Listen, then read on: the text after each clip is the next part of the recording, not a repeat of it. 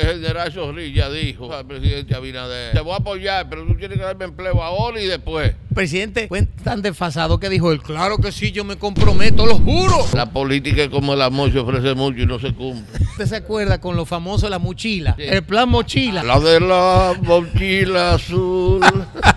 Feli Bautista y compañía y Evico. Ese tipo debería estar preso. Aquí hay policías que son los que manejan a dónde están los puntos de droga en el país. Hay que darle para abajo.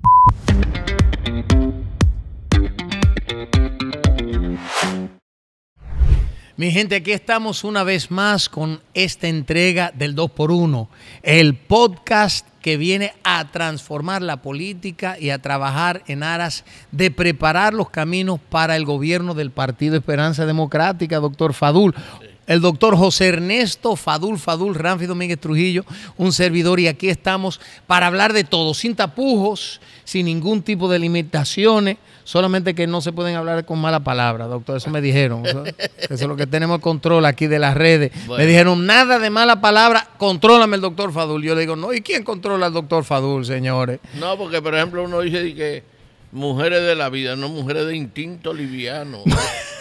rodilla floja. ¿no? Usted sabe que el otro día vino alguien y me dijo, me habló de una proxeneta. ¿Usted sabe lo que es una proxeneta? Sí. Y cuando dicen de proxeneta, digo yo, ¿y qué es eso? Pero vamos a dejarlo ahí, señores. Vamos a hablar, vamos a entrar en materia de una vez. Se lo dejo de tarea. Eh, te agradezco grandemente que hayas tenido confianza, tú como patriota. Yo vengo hace más de dos años diciendo en la televisión que venía un Mesías, que eras tú, y que venía una fuerza emergente. Y veo ahora el desprendimiento y la paciencia que ha tenido en este pacto patriótico que ha hecho con el doctor Roque Espaillat y a mí me ha depositado la confianza de ser su vicepresidente. Yo respondo a usted, a los ojos suyos, al partido. Usted trace la línea, baje y diga lo que haya que hacer y siempre estaré a su lado. El doctor se me adelantó, señores. Yo iba a hablar de la candidatura y ahí vamos, doctor. Mire, yo le voy a decir algo, señores. Yo siempre he mantenido una sola línea. Y yo le dije, doctor, y cuando nosotros nos conocimos hace algunos años, que este proyecto es un proyecto de Dios, pero que tiene un propósito. Y ese propósito es el rescate de la República Dominicana. Y que primero hay que transformar la política antes de aspirar a transformar el país. Y yo entiendo que los políticos eh, somos llamados a demostrar, no solo con palabras, porque es muy bonito hablar, el papel lo aguanta todo, uno lee un guion y, y le sale la cosa bien, pero el asunto es traducir lo que uno siente, lo que uno dice en accionar político. Y creo que eso es lo más importante. Y yo he dicho desde el primer momento que de llegar una persona que enarbole esos mismos principios, esos preceptos de la patria y que tuviese más eh, facilidad para entrar, para llegar, que el trabajo mío era remangarme y trabajar. Entonces, eh, mucha gente me ha celebrado la decisión. Yo digo que es una coherencia, porque yo siempre lo he dicho y yo las cosas que digo lo digo de corazón. Entiendo que es el momento de luchar por la patria y para eso uno tiene que ser desprendido y seguir lo que siempre digo. El ejemplo es de Juan Pablo Duarte. Juan Pablo Duarte murió en el destierro y en la pobreza, porque él quería que la República Dominicana existiera hoy. Y señores, y esto no es relajo, estamos frente a una situación, una difícil, difícil situación, que exige que todos asumamos ese nivel de compromiso y de sacrificio. Entonces, eh, señores, yo estoy feliz, de verdad. Incluso una de las hijas mías me preguntó, porque es un proyecto que ha costado mucho sacrificio, mucho tiempo, y me dice, cuando tomamos la decisión, me dice, papi, ¿cómo tú te sientes? Y yo digo, yo me siento realmente feliz. Y me siento feliz, mi gente, porque hoy yo veo la luz al final del túnel. Hoy digo yo que ya tenemos los elementos, porque señores, qué combinación y qué binomio tenemos nosotros en el partido. El doctor Roque Espaillat, el cobrador, y el doctor Ernesto Fadul, una persona que tiene un compromiso, una trayectoria de trabajo. Doctor, y usted eh, le, le- le gusta echarme cositas a mí, pero yo le tengo que echar su cosita a usted No, también. Fíjate, primera vez en la historia dominicana que se hace un parto patriótico. Balaguer habló de un frente patriótico, que fue un fracaso, pero este es un pacto patriótico, donde la sarga del Estado, el erario público no está en juego.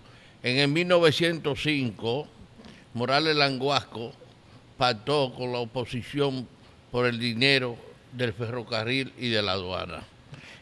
En el año 1923, Warren Harding, el presidente más corrupto que ha dado Estados Unidos, que murió en el 23, y Cule lo sustituyó, planificó la unión de dos corruptos, Horacio Vázquez y Velázquez. Entonces, para repartirse el botín. Ahora vemos el presidente Abinader que está apartando con 22 partidos para repartir el botín del erario público, que no es el caso que usted y su partido han hecho, que es un parto patriótico de verdad, sin repartirnos nada del erario, sino por la patria. Como usted bien ha dicho, hay que eh, reestructurar la patria, es la restauración de la patria, hay que devolver la fe nacional deteriorada, que las cosas públicas eh, y quitarle el dinero a los corruptos. Eso con es así. Eso, con eso pa- pagamos parte de la deuda eterna. Y le voy a decir una cosa, doctor. Óigame, señores, hay 34 partidos políticos en la República Dominicana, 34. Y, y- y ocho movimientos. y ocho movimientos. Ahora yo le voy a decir algo, señores. Me voy a reservar nombres porque son amigos míos. Eh, pero yo iba caminando por el aeropuerto de Nueva York. Esto fue así. eh, regresando del viaje, que gracias a mi gente de allá por ese exitazo en ese recorrido. Señores, y una gente me llama y me dice, Ramfi, una persona que yo conozco, y me dice, mira, incluso me voy a reservar la demarcación porque no quiero, él se va a identificar de una vez. Y me dice, mira, te voy a presentar el director de tal sitio. Y yo lo conozco, le digo, hermano, qué bueno, un placer. Le digo yo, ¿usted es el actual director o usted acaba de ganar? Me dice, no, mira, yo gané siendo del PRM. Y esto sí lo voy a decir responsablemente porque la gente tiene que saber a qué es que nos estamos enfrentando. Y me dice, pero a mí me mandaron, me mandaron para el Partido Justicia Social del PRM para yo postularme. Señor, el Partido Justicia Social, hay que decirlo, es un partido que es una quinta columna del PRM y del presidente Abinader. Así es. Señores, por eso el exitazo de esa gente que vieron que ganaron, eso fue a papeletazo limpio, igual que el PRM, señores. Nosotros no podemos seguir con ese sistema. Depredando el erario público. Depredando, depredando el Estado. Entonces, ¿qué pasa? De 34 partidos, todos se han alineado. Se ha polarizado tanto la política, doctor, que tenemos dos frentes. El frente del PRM, del gobierno, de lo que todos los partidos aliados ahí, y el frente de que, del, ¿cómo que le hace? Recate, recate de los bolsillos, de los cuartos que han despilfarrado porque quieren llegar de nuevo para seguir robando. Eso no puede envolver la oposición. no, no, no. Mientras ¿Qué le- oposición? le- eh, decía que tenía dos millones, pero era en la valla. Porque yo te voy a decir una cosa. Ese tipo debería estar preso, junto con Félix Bautista y compañía y Evico, que negociaron para eso. Porque en realidad eh, hubo una gran atención, porque la gente no quiere votar por corrupto. Y lo que nosotros necesitamos ahora, que la gente que verdaderamente se sienta dominicano, patriota, vote por el, el partido de nosotros, para nosotros tratar de que sea este país otra vez resurja. Yo dije, doctor, ese, ese frente rescate, ¿cómo es que le da el pacto rescate? Eso para rescatar que no caigan presos toda esa gente. No se negoció, tú no ves que toda la familia de Vico la soltaron. Eso es negociado. Familia de ladrones. ¿Usted cree que toditos son ladrones? Doctor? adiós, pero eh, Lucía le dijo a Magali, ven para acá, que, que, que se guisa. Y tú estás lavando platos en Nueva York. No, la hermana, ¿usted se acuerda con lo famoso de la mochila? Ah, sí. El plan mochila. Ah, la mochila azul. que- La de la mochila azul. Señor, vamos a tener que hacer un karaoke uno de estos días aquí también, doctor. Señores, aquí no hay ningún partido que se haya mantenido al margen de los intereses políticos. El único partido, que lo digo con orgullo, es el Partido Esperanza Democrática. Duro. El Partido Esperanza Democrática. Señores, aquí hay que entender algo. Esto es el bien contra el mal. Señores, todos los partidos políticos se aliaron y muchos dicen, no, no, señores, solo fueron en tres demarcaciones, nosotros nada más que vamos en tres demarcaciones juntos, pero, pero no más. ¿Y qué es lo que estamos haciendo? Pero usted no vio que el general Zorrilla dijo, ah, le dijo al presidente Abinader, eh, te voy a apoyar, pero tú tienes que darme empleo ahora y después, Porque es buscando una taja es de Y, predelenario. y el, doc- el- y el- perdón, el, el presidente fue tan desfasado que dijo él, claro que sí, yo me comprometo, lo juro, lo juro. Lo que pasa es que yo no creo que porque ellos no cumplen tampoco. O sea que eso, Zorrilla, No. el pobre, me dio hasta Bueno, pena. que- Él estaba entusiasmado ahí con toda su gente, el salón lleno de gente y le iban a dar empleo de una vez. La- Todavía están esperando. La política es como el amor, se ofrece mucho y no se cumple. Que conquistar lo que tú A, quieres. a mí me dijeron otra cosa, que era, eh, eh, bueno, no vamos a hablar de esos temas, porque eso ya entra en un campo muy peligroso y después nos van a censurar, señores. Mire, lo importante es saber, señores, que nosotros no podemos seguir permitiendo que estos partidos corruptos sigan comprando votos, sigan comprando alianzas. No. No, no, no, no, no, señores. Nosotros tenemos que demostrar que realmente hay un trasfondo patriótico. Señores, cuando uno entra, cuando uno incursiona en la política, es simple y sencillamente para servirle al pueblo. Yo lo que quiero es que la gente que está en la oposición deje esa apatía y salga a votar masivamente por el patriotismo, por el estirpe de nuestro pueblo, No, pero yo, por es la que yo, raza de nuestro pueblo. yo le tengo que corregir. Primera vez que yo le voy a corregir algo, doctor. Es que la oposición somos nosotros. No, no, Aquí no. hay oposición, No, señores. Antes Adelante. estaba bailando Leonelito solo. Sí, Ahora sí. estamos nosotros y lo vamos a desplazar. No, no, ya, ya, Lionelito está a salir de la pista, lo están al empujar. Una, una nalga que le den y se sale de la El pista. baile la- el líder matutino. Sí. Rita, bueno, no, pero eso hablamos después. De a- no, después. Oye, me voy a buscar un lío aquí, señores. Pero mire, la realidad es que en este partido Esperanza Democrática, y yo quiero felicitar también, porque hay que, hay que felicitarlo, al doctor Roque Payá. Sí, claro que sí. Porque le voy a decir una cosa, cuánta coherencia. Y ha cerrado fila con Claro, cuánta coherencia. Pero tenemos que tener presente que el presidente del partido, el ideólogo del partido, el mesías del partido es usted y usted que nos va a trazar la línea a seguir.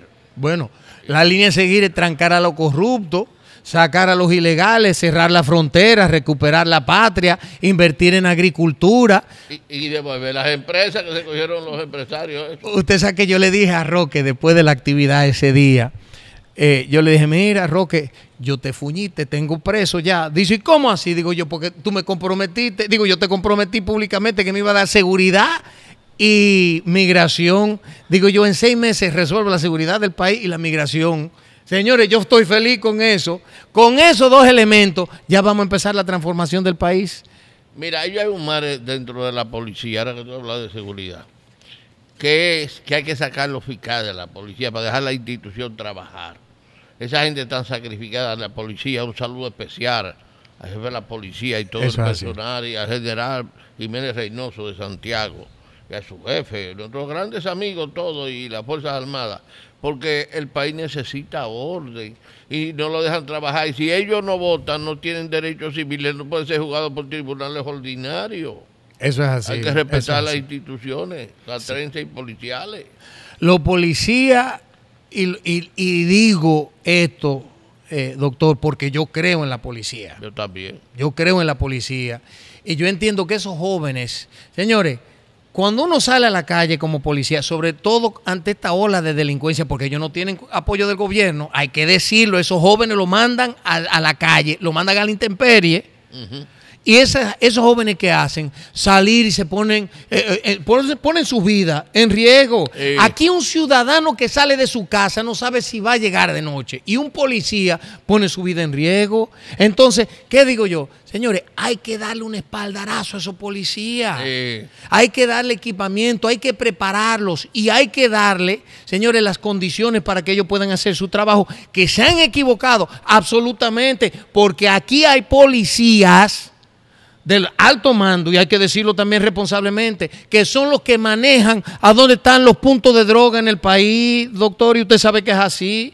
Entonces, por ese grupito de policías corruptos, y por eso yo digo que hay que depurar la policía, están pagando lo justo por los pecadores.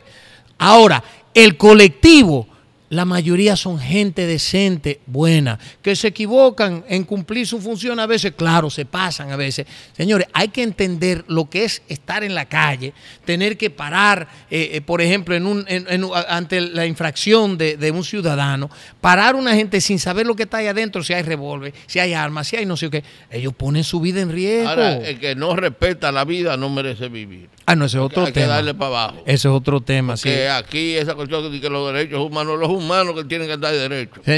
mire, ya, doctor, ah, yo estoy hasta nervioso. Esta es la segunda semana que usted dice, usted dice lo mismo. Vamos a tener que, mire. No, no es que por eso es fuerte, porque oye, eh, la policía es tan necesaria que si hoy, que a los tres días de nosotros estamos hablando, hoy, por ejemplo, hoy es jueves, que el lunes nos salga la policía, ¿qué nos pasaría a nosotros?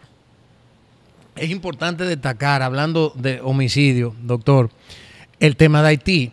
Sí que ya en este año que vamos van más de 1.100 personas muertas a mano de la delincuencia en Haití. Digo, señores, nosotros no nos quedamos atrás tampoco, porque el presidente se jactó diciendo que habíamos logrado reducir el nivel, el porcentaje de, de homicidio en el país. Señores, ¿cómo es que usted dice? ¡Droga! Parece que están tomando algo Señores, porque eh, la realidad no es esa. Ellos viven en un, una burbujita y quieren venderle ese sueño al país, a la República Dominicana. Pero no diga usted, espérese, ¿no? Que... El caso de Haití, Estados Unidos va a tener que intervenir obligatoriamente, porque es que esas fuerzas que, están esperando y no, ya salieron los portaaviones para allá.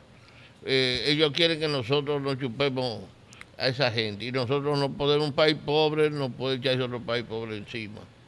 Y aquí tenemos ya más de un millón de haitianos, que es demasiado lo que ha hecho la República por ellos. Y es una carga onerosa porque no pagan impuestos, hacen su necesidad en la calle y son gente depredadores, cortan los árboles y, no tienen educación y es un, un obrero no calificado, nada más para trabajo eh, áspero, rústico y esas cosas. Entonces, yo creo que los, americanos vieran de meterse ahí y poner orden en la casa porque ellos tienen intereses, porque hay una mina de oro en restauración, que es la más grande de América, junto con aquí, que es el futuro. Además, los norteamericanos le tienen temor que Venezuela, que dice que la abuela de ellos es Haití, y Cuba que está ahí se meta por ahí a hacer cualquier tropelía. Ahora, Haití ha sido el mayor peligro que ha existido para la República de su fundación en toda la época.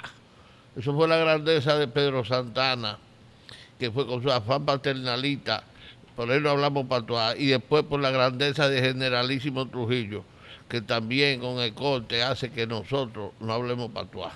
Esa es la pura verdad, señores. Y hoy por hoy, yo digo, doctor, que esa amenaza que nosotros tenemos ahí al lado, nosotros tenemos los mecanismos para controlarla. Ahora, lo que nosotros no podemos permitir es que los organismos internacionales, empezando con los Estados Unidos, bajo el liderazgo de un presidente que es inoperante, que es una persona, usted me dijo, él tiene, Parkinson.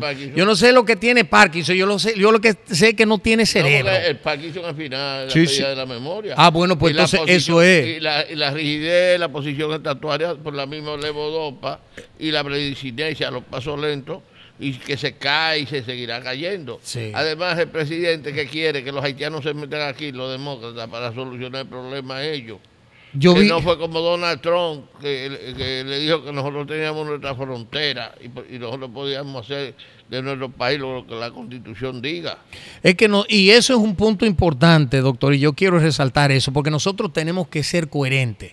Nosotros como dominicanos no podemos decir, mira, en nuestro país hay que respetar la frontera, pero entonces ir a cruzar de manera ilegal a los Estados Unidos Señores, nosotros lo que tenemos que hacer es crear las condiciones aquí en el país para que ningún dominicano se tenga que ir.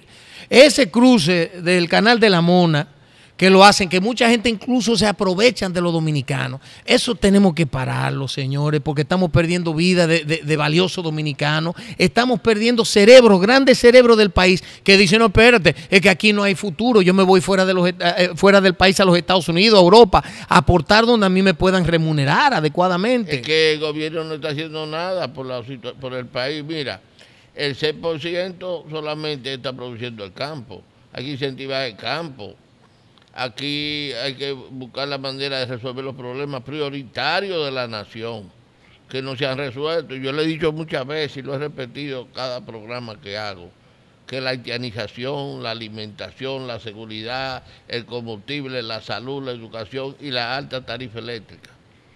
Absolutamente. Y el tema de la haitianización, para no seguir redundando en lo mismo, pero es importante, señor, porque este tema, y yo lo digo, doctor, de no resolver la crisis con Haití, señores, vamos a cerrar esto y no vamos a buscar otro sitio donde eh, nosotros los dominicanos nos podemos asentar. Ahora, esa crisis, esa migración, pesa sobre salud. ¿Por qué? Primero, porque tenemos las parturientas que vienen aquí. 14 mil millones Óigame, que le cobran en Haití para parir y aquí vienen y no le cobramos. Ellos cruzan la frontera para que no le cobren, número uno. Educación, tenemos los hijos de los inmigrantes y yo entiendo, porque vamos a estar claros, los jóvenes, los niños, los adolescentes, hay que preservarlos. Yo entiendo que estén ahí, pero señores, esos niños se deben estar educando en Haití, no aquí, porque entonces estamos dejando a un lado la necesidad de darle formación a nuestros dominicanos. Entonces, pesa sobre educación, sobre seguridad ni hablar,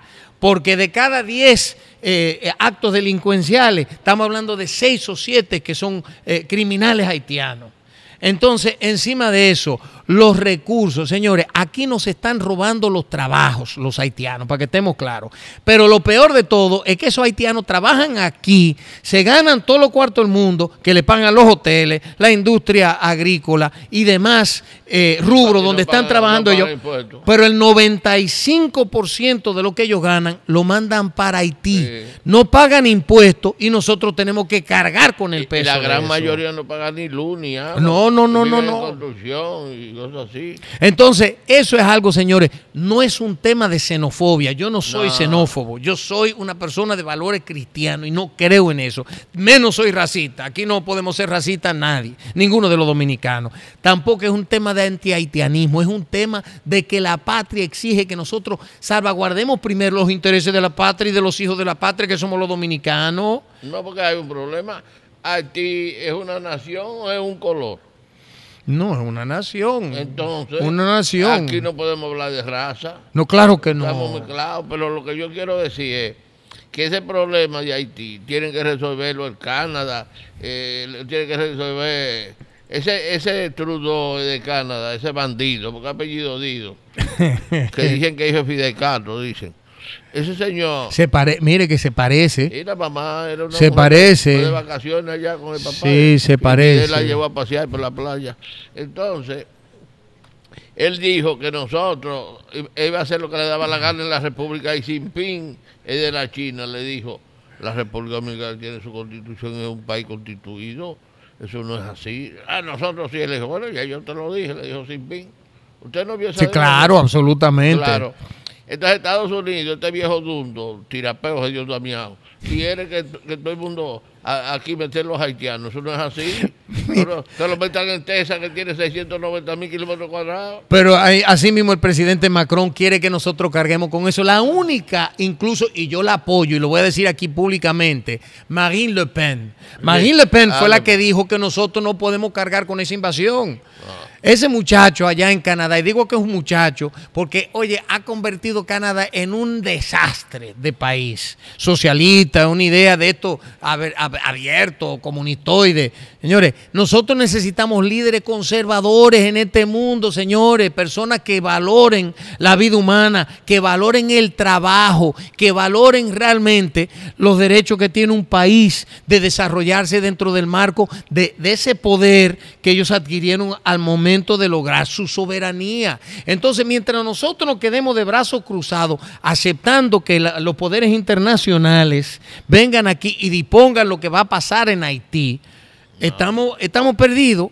La solución de, ahí sí voy a decir, aunque, aunque fueron palabras solamente, pero voy a apoyar lo que dijo el presidente, que la solución de Haití no está aquí en República Dominicana. Yo apoyo. Lo que pasa es que el presidente, el pobre, no tiene pantalones para resolver ese tema. Pero tú no ves un secretario de la Fuerza Armada matando a los soldados. Que ellos son hermanos, que yo qué. Y llamó lo que hay que votarlo y ahí, poner un hombre con cojones ahí en la frontera. Mata a un soldado que no se dejen matar. Usted tiene un fusil en la mano. Usted son la patria, el escudo, la bandera, el himno, la ley sobre sus hombros de casa del país. Aquí hace no le falta. haga caso a ningún día. Vos, eso, Ah, sean pendejos. Aquí hace falta eh, hombre de pantalones. Sí. Hombre de pantalones. ¿Sabe quién tiene pantalones?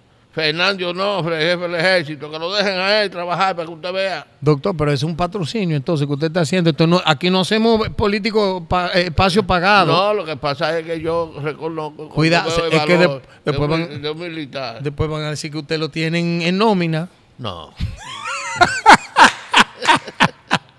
No, yo Mire, señores, si hay un hombre que yo sé que no está en nómina, es ese que está ahí. Ese que está ahí. yo digo Por si verdad. acaso, después. digo la- Yo, digo la verdad. Yo nunca he trabajado en, en cargo público. Ni yo tampoco. Ni yo, tampoco. Yo tuve con Rosita, mi hermana, en la gobernación del 90 al 96. Yo era el asistente de ella. Pero yo en cargo público nunca he trabajado. No, y le voy a decir una cosa, eso es lo que necesitamos hoy por hoy.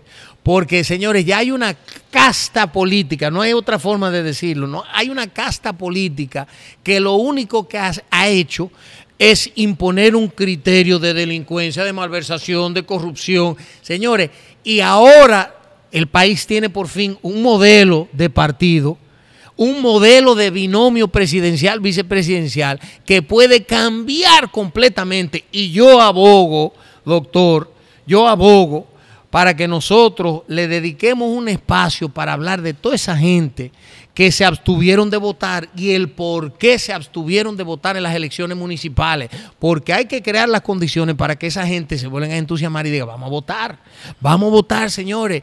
Este es el momento de rescatar la patria. Y la otra cosa es, doctor, a toda esa gente que dice, no, porque los políticos tradicionales y que están hartos y que nada más que están hartos, que están hartos. Ahora tienen ustedes el momento de brillar, al- el momento de ser un, un elemento protagónico en el futuro de la patria, doctor, votando, y esto sí es un espacio político pagado, después usted me pasa a mí un chequecito, el número 32, Roque Payat Fadul. Eh. Eso me gusta, Roque Mira. Payat Fadul. Fíjese, el partido que usted hizo, que es un ¿Qué hicimos, doctor? Porque usted parte, usted habla como si nada más que soy yo el partido, usted parte del partido y usted no lo ayuda a Usted es construir jefe también. del partido, usted es el mesías del partido. Detrás de usted tenemos que ir todos. Y yo estoy aquí por usted. No, mire, há- hágame favor, incrementele el chequecito la semana que viene. Duplíquenselo esta semana, porque Oiga. está, el hombre está, está hablando bien. Mi- mire, mesías, lo que le voy a decir. usted es el ideólogo. Usted es el que sabe. Nosotros tenemos que seguir detrás de usted. Y usted no marca la pauta. Porque yo veo por los ojos suyos. Gracias, doctor. Yo sé, yo sé que es así. una gente que siempre estaré con usted. Y lo, y lo quiero mucho por eso, porque usted cree en la paz igual que yo. Eso es así. Eso es Y así. esos corruptos que están ahí, que están aspirando, vamos a meter presos. Todos, todos.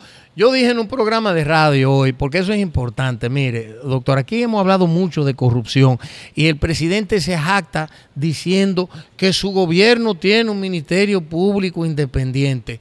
Todavía no hay un solo funcionario condenado. ¿De qué ministerio público independiente me está hablando? Pero, oiga, Espérese, no para terminarlo. Oh, oh, oh, mire, oh. el procurador general de la República, los nombres del Ejecutivo y la mitad de los fiscales, es decir, que es independiente. Aquí es la voluntad del presidente, lo que se hace.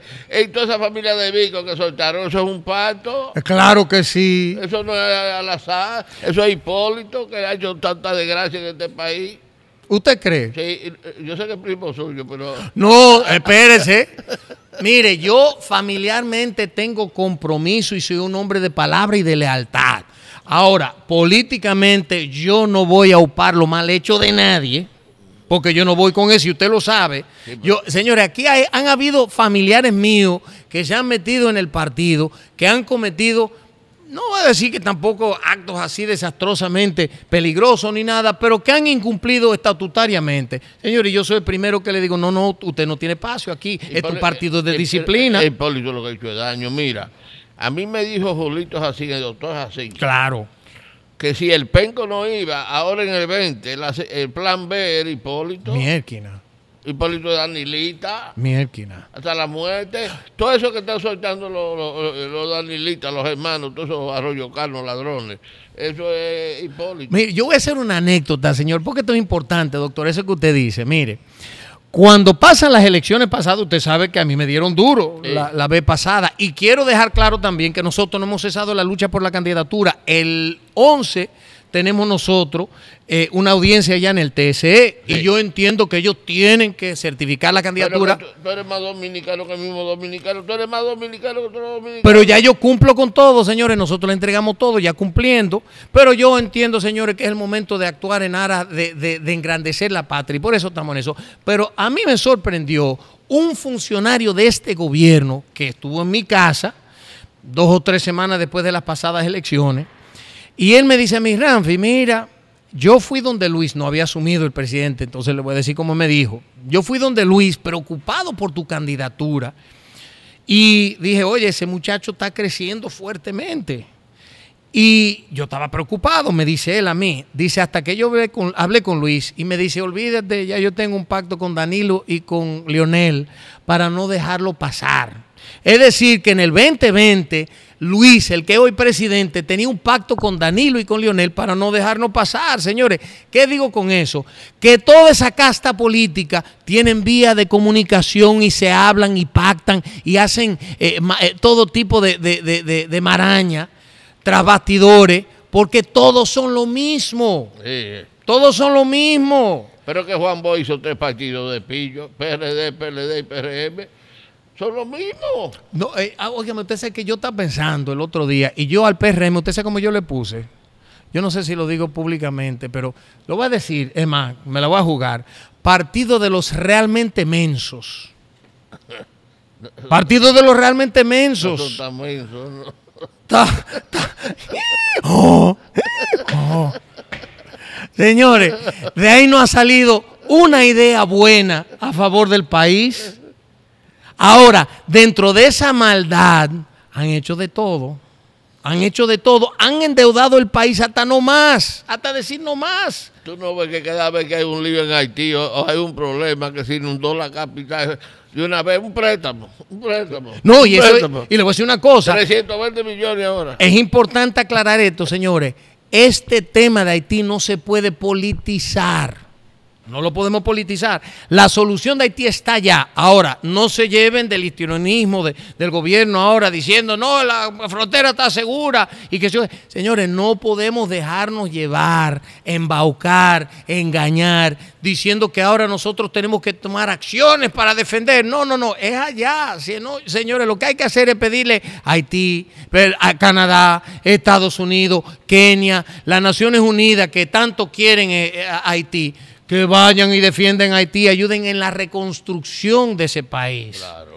Ahí está Jimmy, ¿cómo que se llama el barbecue? Eh, Ah, eh, eso, se lo van a llevar ahora en esta vuelta. Señores, ese, ese muchacho, hay 200 bandas ¿Tú sabes quién criminales en Haití. Los ricos de Pero claro, hay que, señor, hay que entender algo. La clase rica, la clase, la alta alcurnia en Haití, no quiere esa gente pobre allá. Esa es la realidad.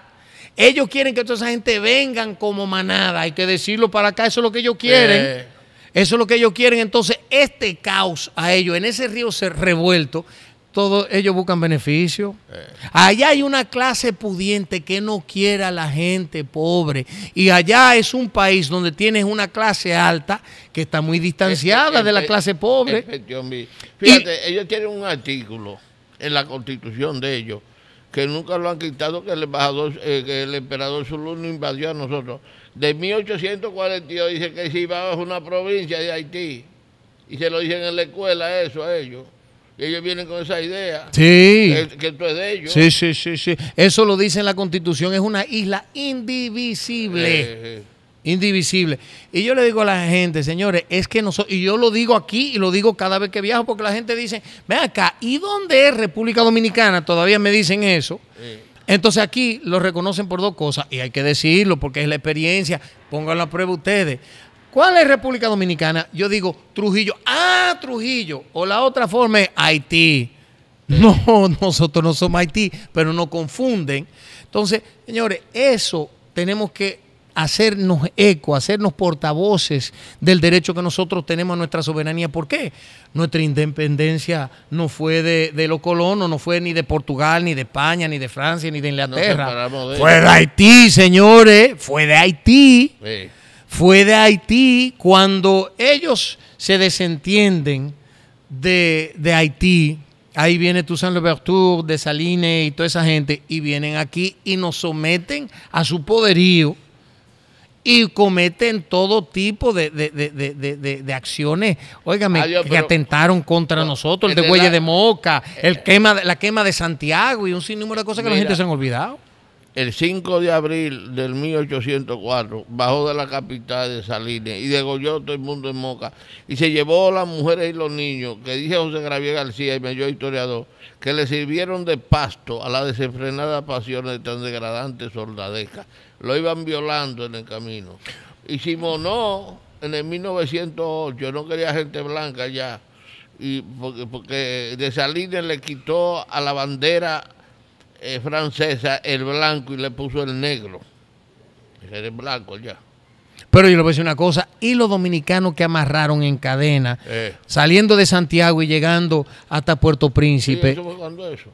Que murieron la mayoría ah, encadenados, señores, lo arrastraron prácticamente. Que vimos el otro día un acto, óigame, que, que, a mí me, dio asco, que fue el muchacho este que venía arrastrando un animal, señores. Aquí hay que abogar, eh, señores, por, por, por, por el respeto a esos animalitos, a esas criaturitas de Dios. Señor, eso fue una aberración. Ese muchacho tiene que estar preso tiene que estar preso. Si nosotros no tomamos acciones para arreciar las penas para gente que incurre en eso, eh, eh, eh, señores, estamos mal como sociedad. Pero volviendo al tema, que no me quiero desviar tampoco, señores, la gente no sabe lo que ellos hicieron con nosotros los dominicanos.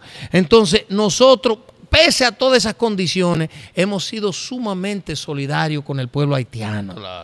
Y está bien porque somos un país cristiano. Ahora, como país cristiano también tenemos que respetar lo que dice la Biblia. Y la familia, el núcleo familiar, se tiene que cuidar. Sí, pero somos cristianos, pero Jesucristo eh, San Pedro le cortó una oreja a un romano y para dejar la vaina así le pusieron la oreja otra vez a Jesucristo. Eso fue así.